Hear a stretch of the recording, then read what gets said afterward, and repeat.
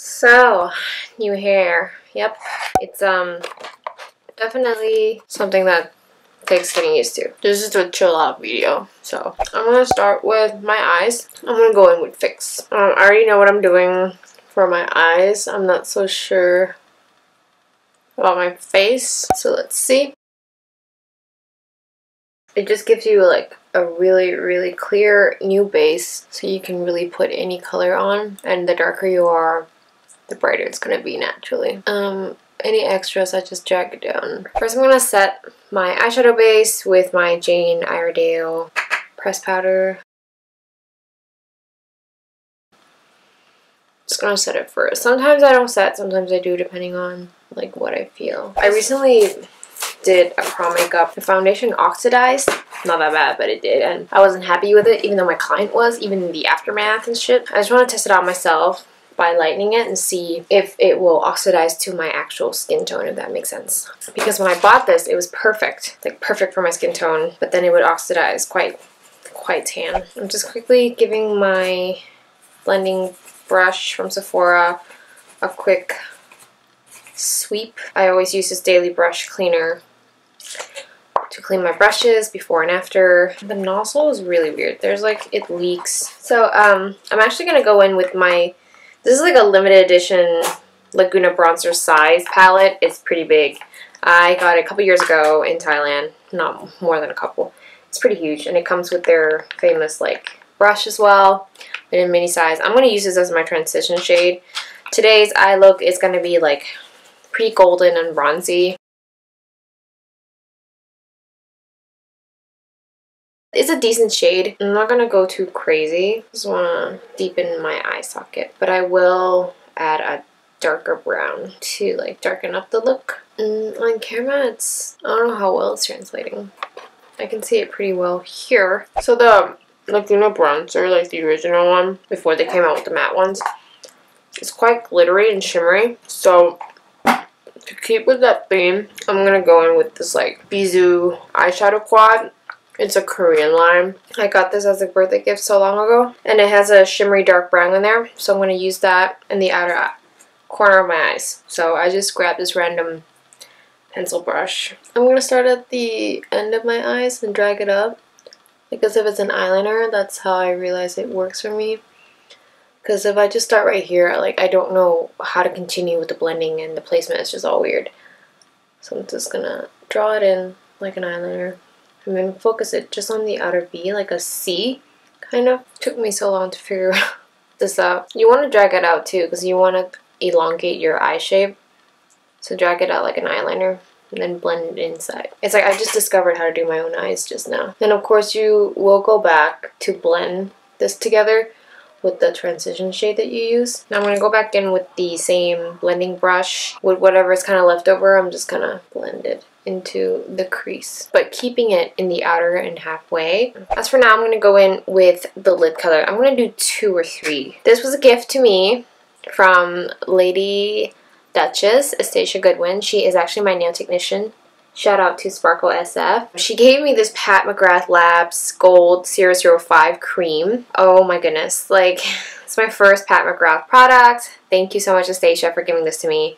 I would have never been able to afford this myself. Like, I don't want to use too much of it, so I'm just going to dab my finger. I'm not going to, like, drag it because it's quite pigmented. This is just, like, me tapping into the pan. So I'm just going to go on my finger I don't know if you can see that. I'm barely putting any pressure on because I want to slowly build it into the inner corner of my eye. Also, like, when you use your fingers, I just feel like it's a lot more like a natural application. You That's what you get, the payoff. I'm just um, layering it a little bit more because I feel like this one is brighter than this one. On camera, it's not picking up that much. But I'm going to actually top it with uh, a lighter gold. This Beauty Crop Trio I got from like uh, an Ipsy bag. No, not Ipsy. Birchbox. It has a highlight in vanilla latte. I'm to try that. I'm to use my finger as well. Use the same finger so that the colors kind of blend together. Okay, yeah, this is kind of like what I wanted. More with champagne gold. So that was just like the cream to kind of give it a base. And this is just the powder for it to hang on to a little bit more. I'm to tightline really quickly. I'm using Bare Minerals. This was a gift from Dominic. This one dries up. I feel like pencil eyeliner dries up, so I'm just gonna warm it up by just drawing some on the back of my hand. And now I'm just gonna tightline. This is like a super old L'Oreal. It's like the liner brush that comes with the pot. And this is the set pot. I'm going to give myself a tiny wing.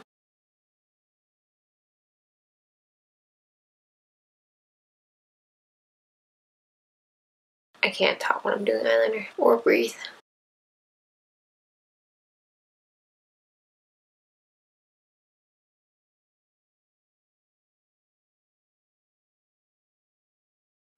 Now I'm going to prime my face. This is my second bottle of this primer. I don't know if it's doing anything for me. I just use it because I have it. And I'm just glad it's finishing so I can move on. This is what it looks like. I always start with the inside of my face and then I put it up because I don't need much on my forehead now. I really need to wait for this eyeliner to like dry because it transfers up here like a cut crease. This is the foundation I mentioned earlier that it oxidized. So I'm going to try it out. I might just use the back of my Anastasia and Amrezy highlighter. That's what I use sometimes. So if you look at this, I'm going to leave it here. Right now it's like a good shade. We'll give it like 10 seconds and you're going to see how it oxidizes. Actually, I'm going to grab this like slanted flat concealer brush from BH. You see? Oxidized tremendously. The thing is, I already bought one that's tanner. But you see how this is lighter than this? Argan oil to dilute this stuff. Maybe make it a little lighter. And this is my um, lightening drop. Maybe it'll oxidize to my skin color. Who knows? The pipette, this is so weird. It comes out as bubbles. And then it drops. Which is like really weird. Here we go. This is um, my liquid highlighter. Added it to the mixture. So much lighter. this is to be interesting. Alright. Uh, I'm to leave it at that for a second. This is my damp sponge. I'm to start down here first. Try to blend out the dried shit. It's definitely quite better. Let's see if it like oxidizes. Yeah, this is perfect. Thank God for that lightening drop. Get a little more, especially down here. I'm gonna like kind of make it equal. I wouldn't even like go in with like another coat because I don't I don't need the coverage. I think this foundation is like sheer to medium anyways. And I also feel like even though this is supposed to be a dewy foundation, it actually makes my skin look really dry, including my clients. So far, so good. So matching. It look like it's matching? Yeah, wearing white while doing makeup. I do it all the time because I live life on the edge. Dragging it down the jawline and then we'll really see if it's like a good match after mixing. Cool! Alright, now for concealer. It's the Julep Cushion Complexion. It's the perfect amount of lightness and yellowness, I would say. I do this to lift my lips up. Same sponge. Normally I would go in with the oil again, but I feel like when I did that on my client, it kind of really diluted the concealer and then there was no point because I was really trying to lighten up the foundation with the concealer. So I'm gonna keep it just damp. Like it's almost dry damp because I left it out for a bit.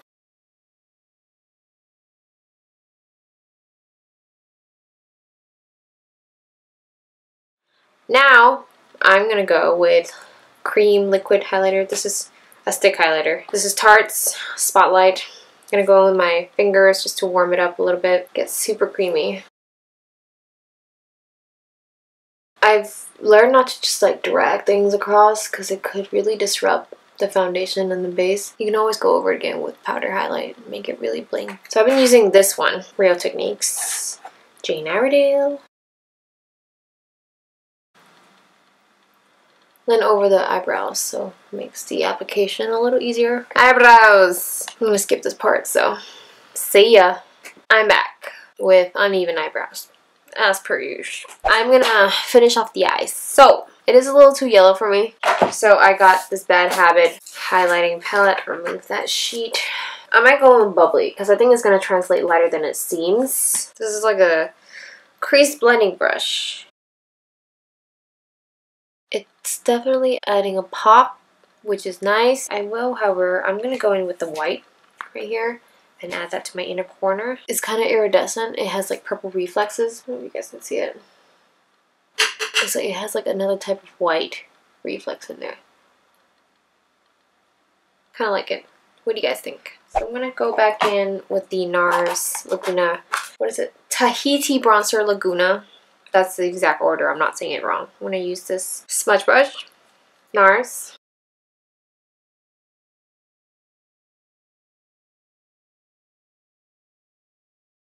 Now I'm going to go in with the sun, um, back into the trio. I'm going to go into their, their dark brown. It's pretty cool tone. It's almost like maroonish. I'm going to go with the same brush because who cares? I'm going to only do this in the outer part and connect it to the eyeliner. And go back in with the NARS bronzer. I'm going to use the brush that comes with it. And I'm going to bronze tour. A term I haven't used in a while. Very light-handed. Into the hairline. As Wayne Goss have taught us. Stop halfway between your eyeballs or else your face will look stupid funky. And I always do it right here to really chisel out my chin as well when I do the jawline. Blend it into the neck. It creates this like dimple look, if you guys can see that.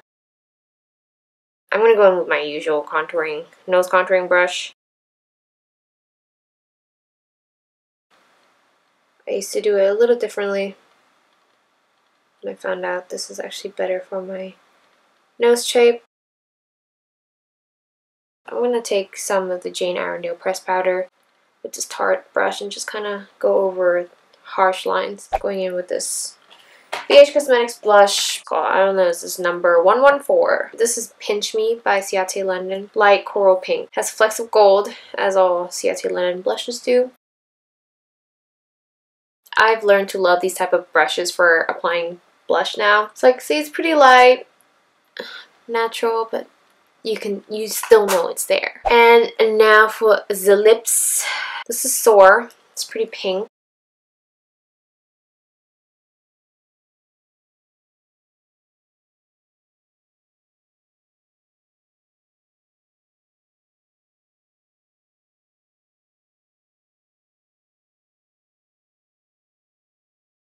I think Soar is such a good color. It's coming off really dark on camera. This is like kind of the same. So we're gonna go with this. I don't care. This is Send Nudes by Lena Lashes. Yeah. This and Soar is a great combination. Morphe. So I'm gonna go with this Amira Pure Highlighter in Dolce. It's like loose, so I can't pick it up. I have some on the lid, so it's not really that golden. It's pretty peachy bronze it kind of just enhances the natural lighting on your face and it's not an obvious highlight.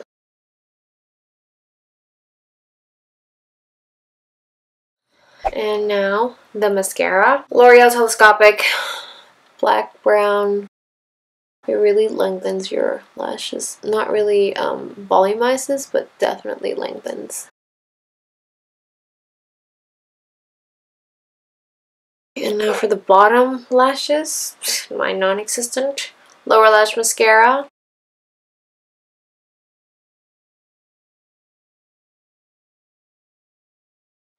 This is probably not the best haircut for a bridal look, but here we are. Um, so this is the final look, you guys, that I would do for a bride. My eyes just look really dark because of the bangs, but once I lift it up, it's like not that crazy. Hope you guys liked it. I know this was like a super lazy, super casual, weird video.